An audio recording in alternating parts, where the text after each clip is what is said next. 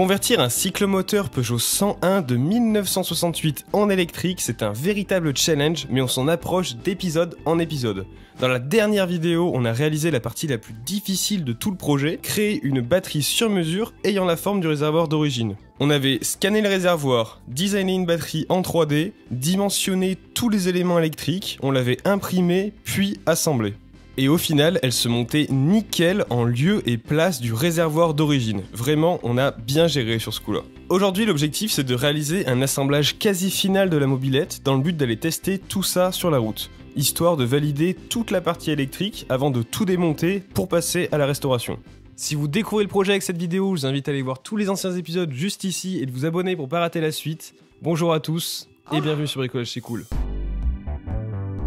Allez, après la version 1 de la mob que j'ai pu tester dans l'épisode 3, on est parti aujourd'hui pour faire une V2 qui sera officiellement la dernière version avant la restauration complète de la mob. Parmi les trucs qui nous restaient installés, il y a l'éclairage. A l'origine, sur les mobs, on a un phare avant et un feu arrière, tous les deux éclairés via des petites ampoules à filament à culot hélicoïdal de 6 watts à l'avant et 1,8 watts à l'arrière. Ces ampoules étaient alimentées en 6 volts par un système que l'on connaît bien, bobine d'éclairage fixe et volant magnétique rotatif, mais nous on n'a plus tout ça maintenant. On va donc alimenter l'éclairage avec la partie du kit dédiée à ça, on a des câbles plus et moins pour l'avant et pour l'arrière, et un transo qui convertit la tension de la batterie en 12 volts. Pour ça, j'ai acheté des petites LED en T10 sur AliExpress avec leur qui va bien. T10 c'est le standard pour les veilleuses sur les voitures notamment. Le challenge ça va être de réussir à installer ces nouvelles ampoules à la place de celles d'origine. On commence par le phare avant que je démonte, je prends quelques cotes au pied à coulisses et je design facilement en 3D une petite pièce qui va pouvoir accueillir la nouvelle douille T10 et s'insérer là où le porte-ampoule se plaçait auparavant. J'imprime ça vite fait en 3D et ça va nickel. La douille T10 en sorte de caoutchouc s'insère à l'intérieur sans problème. Pareil pour la LED et le tout se met parfaitement dans le phare d'origine. Plus qu'à brancher ça temporairement sur les fils dédiés à l'éclairage avant. Temporairement parce que je vais refaire tout le câblage propre avec des connecteurs étanches et tout bien comme il faut plus tard dans le projet. On remet le phare dans son emplacement, on appuie sur le bouton du guidon et ta dame Oh là là mais quelle beauté Quelle beauté je peux vous dire que là la mob elle a jamais autant éclairé de toute sa vie et si peu consommé par la même occasion. D'ailleurs, j'ai un nouveau vote pour vous les abonnés, j'ai anticipé le coup, j'ai acheté des LED blanches et des LED jaunes, donc à vous de voter dans les commentaires si vous êtes plutôt team LED blanche pour un look futuriste qui fait clin d'œil à la peinture d'origine, ou type LED jaune pour un look rétro qui est du coup à l'opposé de ce qu'on peut trouver dans le commerce quand on achète des véhicules électriques tout neufs. Comme à l'habitude, c'est vous qui décidez parce que ce projet c'est aussi le vôtre, alors du coup vous me dites ça dans les commentaires et j'ai hâte de voir vos arguments. Allez, autour du feu arrière de se faire rétrofiter. Il est constitué d'un simple catadioptre et d'une protection en plastique rouge qui donnait la couleur à la lumière. Et d'ailleurs, appel à la communauté, comme vous le voyez, elle est vraiment euh, dans un sale état, donc si parmi vous quelqu'un a cette pièce en stock, qu'il n'hésite pas à me contacter par email ou sur Instagram, ou sinon bah, je serai obligé de trouver une solution pour refaire cette pièce, parce que là c'est vraiment trop dégueulasse pour être remonté comme ça sur la mob restaurée, on est bien d'accord. Bref, j'enlève l'ampoule et le challenge ça va être de réussir à caser la LED dans ce petit espace pas très pratique. Alors pas le choix, je démonte pour tout accéder à l'intérieur, et ben ça va pas être évident mais on va s'en sortir. On commence par retirer le système de porte-ampoule d'origine pour avoir un maximum de place, et après quelques cassages de tête et quelques modélisations, me voilà avec une solution, c'est de designer un porte LED qui va venir s'insérer dans le phare. Vu que le porte LED il sera en contact direct avec la LED, eh ben j'ai préféré l'imprimer en ABS, puisque c'est un polymère qui résiste bien à la chaleur, contrairement au PLA par exemple. Et hop, la LED se slide nickel à l'intérieur, et le tout s'insère dans le phare bien ajusté pour ne pas bouger. Nickel Waouh avant de remonter le feu, on va mettre un petit coup de propre parce que c'était bien crade quand même, hein, on est bien d'accord. Pareil pour la visserie qui était bien bien rouillée. Et pour ça, moi ce que j'aime bien faire, eh ben, c'est de passer un petit coup de tarot dans les écrous et un petit coup de filière sur les vis. Ça dégage bien la merde et la rouille, et je conseille à tout le monde comme ça d'avoir un petit kit pas cher euh, juste pour cet usage. Allez, c'est parti pour le remontage. Et au passage, je retire l'ancienne gaine de câble parce que les nouveaux sont trop gros pour passer à l'intérieur. Je les fais circuler au même endroit jusqu'au pédalier de la mob. Je les câble temporairement au contrôleur et magnifique. Ça va nickel. Et je peux vous dire que ça éclaire fort, hein. on va pas la louper la mob. Hein. Ah franchement c'est stylé, je suis bien content. Bon bah voilà, niveau éclairage, on va en rester là. J'avais la possibilité avec le kit d'installer d'autres accessoires comme des clignotants, des feux stop, etc. J'avais anticipé en achetant des rubans LED assez discrets pour cet usage, mais j'ai trouvé qu'au final c'était plus un gadget qui nous éloignait de l'esthétique de base que quelque chose de véritablement nécessaire. Allez, maintenant que les phares c'est fini, on va s'atteler à faire un peu de place sur cette mob. Objectif tout de suite, retirer de cette mob tout ce qui ne sera pas nécessaire pour la version finale, histoire de nous faire de la place, la rendre la plus jolie possible et épurer au maximum tous les câbles pour que je puisse garder uniquement que ceux qui me sont utiles. Et on commence par l'écran LCD. Et oui, dans la dernière vidéo, je vous avais demandé de voter dans les commentaires si on gardait l'écran ou pas. Et vous avez voté non à 76%. Du coup, bah, je vous écoute, je le dévisse et hop, ça dégage. Ça fait un peu de place déjà. Vous aviez aussi voté sur est-ce qu'on installe un voltmètre sur le réservoir ou est-ce qu'on met un bouchon de réservoir classique Et vous avez voté oui à 62% pour le voltmètre. Pas mal d'entre vous m'ont aussi proposé d'installer un voltmètre caché sous un bouchon. J'aime beaucoup l'idée, mais en fait il aurait fallu y penser dès le début de la 3D parce que là ça va être chaud maintenant. Et dans tous les cas, j'installe le voltmètre que j'ai pu recevoir entre temps, juste je le câblerai plus tard. Du coup, vous voyez, les votes c'est utile, alors votez en commentaire phare jaune ou phare blanc. Et tant qu'on est sur le guidon, j'en profite pour câbler les contacteurs de frein. Et oui, rappelez-vous, j'avais fait exprès de prendre des freins avec des contacteurs pour les câbler au contrôleur, dans le but de donner l'information que l'on freine, couper le moteur et même mieux, activer le freinage régénératif. Et grâce à ça maintenant, on va pouvoir le tester au roulage, alors restez bien jusqu'à la fin de la vidéo pour pas rater ça. Bref, toujours dans une optique d'épuration de la mob, je me suis posé la question de la réelle utilité du kit anti-vol. Vous vous souvenez, on a un boîtier branché au contrôleur qui s'active avec une télécommande, et après on a un bouton on-off qui commande un relais pour mettre en tension le reste du circuit. Et quand j'y pense, eh ben, je trouve ça gadget en fait. Je trouve que ça nous éloigne de la mob, et si quelqu'un veut voler la mob, eh ben, il s'en fout que le moteur soit alimenté ou non. Il monte dessus, il pédale, ou alors il la porte et il la met dans son camion. Je pense que la vraie sécurité, bah, c'est comme un vélo, c'est de l'attacher, et euh, d'ailleurs d'origine, on n'a aucun coupe-circuit ou sur euh, l'arrivée de l'essence. À la rigueur, on pouvait avoir un verrou pour euh, bloquer la fourche, et compte tenu de ces considérations, eh ben, je décide de tout virer et de garder uniquement un bouton on-off pour séparer la batterie du reste du circuit. Je démonte le relais pour le court-circuiter, j'enlève le bloc anti-vol, je court-circuite aussi le coupe-circuit, et voilà, regardez-moi cette quantité de saloperies que ça nous fait économiser. Et par la même occasion, tout autant de connecteurs et de fils qui ne seront plus utilisés, que je vais pouvoir supprimer pour faire un faisceau de câbles propre et bien intégré. Allez, maintenant qu'on a bien épurer cette mob, on va s'attaquer au contrôleur. Mais qu'est-ce qu'on va bien pouvoir faire à notre contrôleur, vous êtes en train de vous dire là?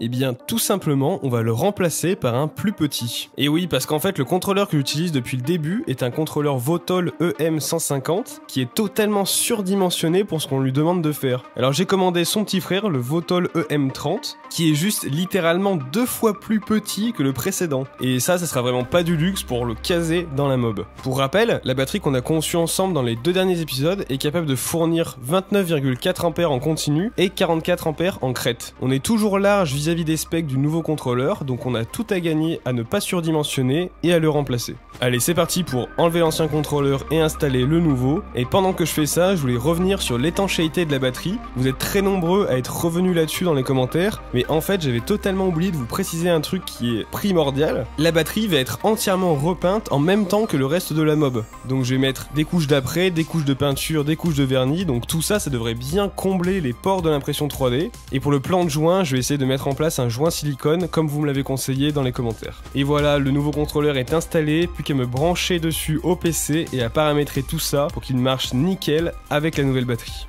Bon bah voilà, c'est nickel tout ça, mais avant de partir sur la route, il nous reste encore 2-3 petits détails à peaufiner.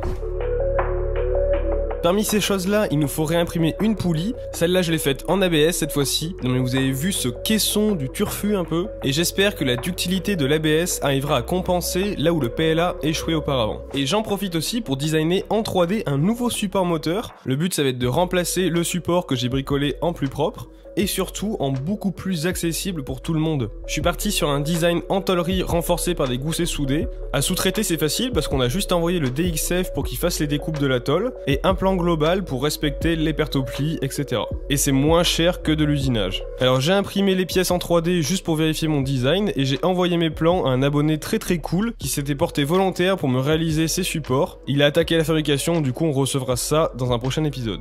Et pour ceux qui se demandent comment avoir les fichiers de tout le projet comme les fichiers 3D du réservoir batterie, de la poulie, le plan des pièces, les réglages du contrôleur, etc. etc.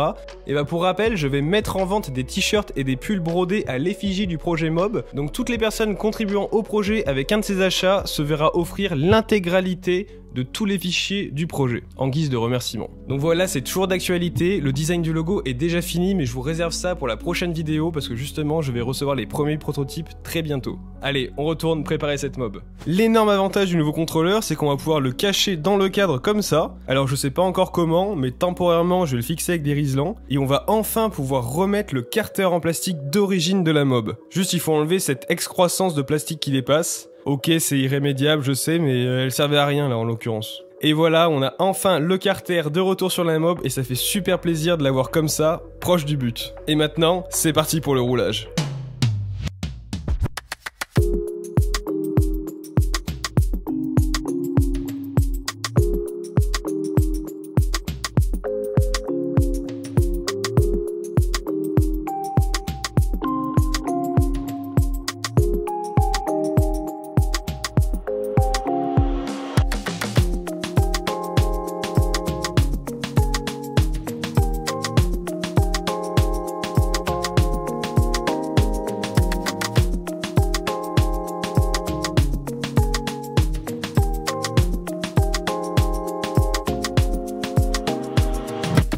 Oh là là, j'ai vraiment pas les mots pour décrire à quel point cette mobilette électrique déchire sa mère. Les gars, je vous ai fait un engin là, vraiment exceptionnel. Je peux vous dire que cette VE de la mob est bien bien bien meilleure que la première version. Déjà avec la nouvelle batterie sur mesure, la mob elle est vraiment bien plus puissante que la dernière fois. Alors bien sûr on a toujours plusieurs modes de vitesse, 1, 2, 3 et sport, qui correspondent en gros à une incrémentation de la puissance du moteur. Et pour faire simple, à partir du mode 2, la mob cabre. Voilà, vous voulez faire un départ arrêté, et bah impossible de ne pas cabrer. Et bah je peux vous dire que ça surprend. Hein. Et du coup on a la preuve que la poulie ABS, et ben elle transmet bien la puissance pour ça possible. Donc ça c'est cool. Et la puissance, parlons-en justement. Comme la dernière fois, j'ai pu faire des mesures via l'application du Smart BMS et j'ai pu voir de gros appels de courant de l'ordre de 40 ampères quand même. Comme par exemple ici une décharge de 39,1 ampères sous une tension de 55,79 volts, soit 2181 watts en sortie de la batterie et si on prend les pires rendements du contrôleur 89% et celui du moteur 90,5%,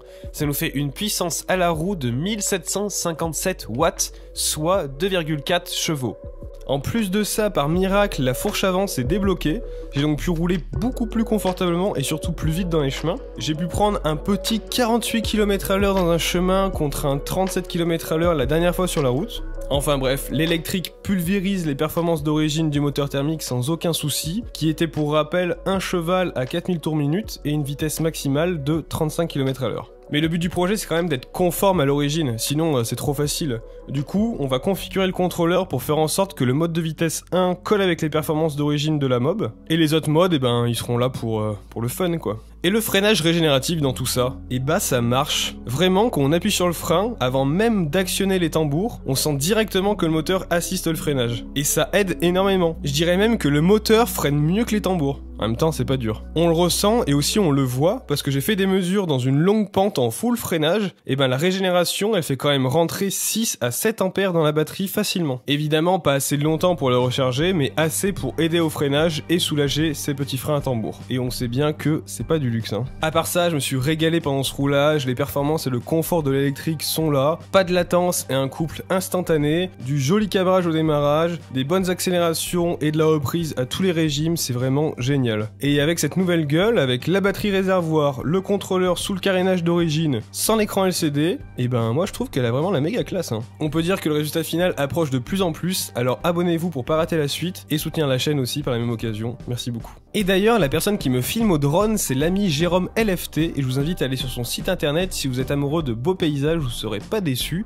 Il fait des photos magnifiques et il vend ses impressions livrées chez vous. Moi, je me suis offert une petite chaîne des puits enneigée sous un lever de soleil que j'ai encadré tel le gros chauvin que je suis. Il est pas du tout au courant de cette pub, mais je voulais le remercier pour euh, les après-midi de tournage qu'on a passé ensemble, pour faire un cadeau sympa, je trouve que c'est vraiment top. Et voilà, on a officiellement terminé la V2 de cette belle 101, et encore une fois, je suis euh, assez fier. Dans la prochaine vidéo, ça sera mécanique parce qu'on va désosser toute la mob entièrement et on va la repeindre et la rénover. Donc ça sera hyper intéressant et je pense qu'on va apprendre plein de choses. Du coup, je vous invite à vous abonner à la chaîne pour pas rater la suite. Je vous invite aussi à me suivre sur Instagram pour avoir des petites news en avant-première. Et aussi, je vous invite à rejoindre les autres bricoleurs sur le serveur Discord Bricolage c'est cool. Donc c'est un serveur gratuit d'entraide au bricolage. Donc vous pouvez partager vos créations, demander de l'aide, partager des bons plans, etc. etc. Le lien est en description. Et en attendant, bricolez bien.